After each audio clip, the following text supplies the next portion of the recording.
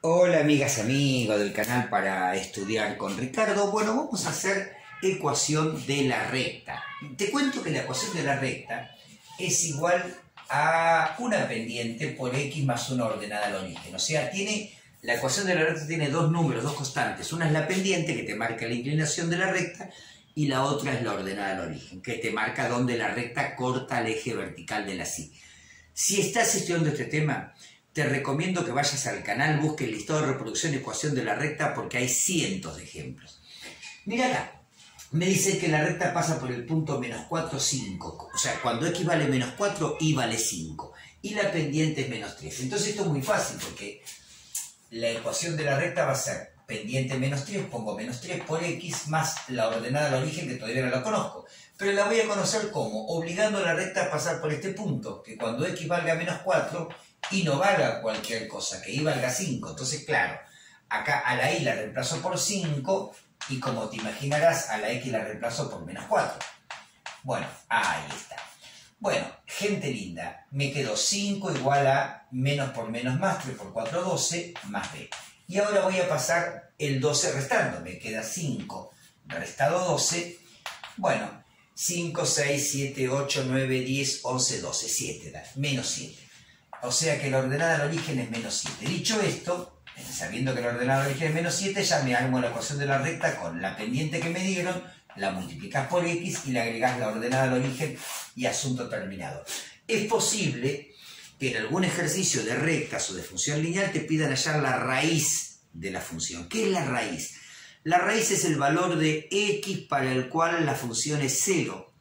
El valor de x para el cual la función es 0 y por lo tanto es donde la recta corta el eje horizontal de las x. Entonces, si querés hallar la raíz, por ejemplo, de esta, directamente pones que y vale 0, ¿eh? porque es la condición para que el valor de x sea raíz, y despejas x, ¿ves? Paso el 7 sumando, y paso el menos 3 dividiendo, va a quedar negativo, porque viste 7 dividido menos 3 da menos 7 tercios. Bueno, ¿ves? Cuando x valga menos 7 tercios, la, eh, iba a valer 0. Y eso es la raíz de la recta, la raíz de la función lineal, que es donde la recta corta el eje horizontal de las x. Bueno, vamos a hacer otro ejercicio, cuando me dan recta que pasa por dos puntos.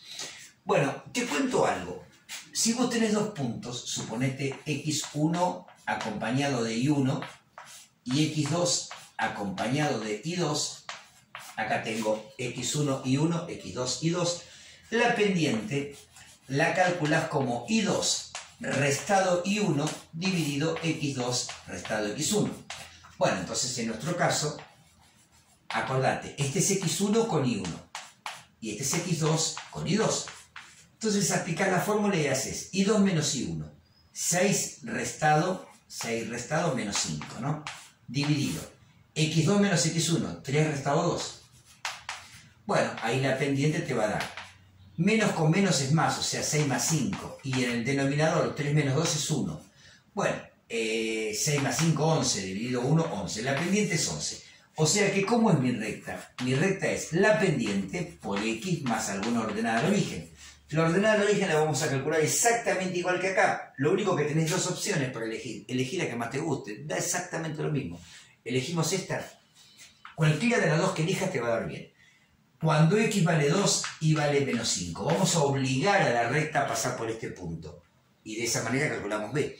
Claro, cuando x vale 2, y vale menos 5. Entonces acá en la y pongo menos 5 y en la x que pongo 2.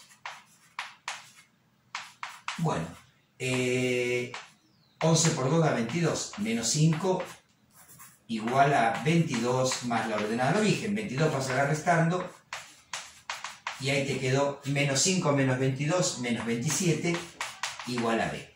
Bueno, ¿cómo quedó la recta? Quedó y igual a una pendiente de 11 por x, acordate que la pendiente siempre multiplica la x, y el que no multiplica la x es la ordenada al origen, menos 27, y ahí tenemos resuelto el problema. Siempre te podés fijar que esté bien hecho, ¿ves? Cuando x vale 2, y tiene que dar menos 5, no puede dar cualquier cosa. Si x vale 2, ¿cómo te queda acá? 11 por 2, 22. 22 restado 27, sí, da menos 5, está bien.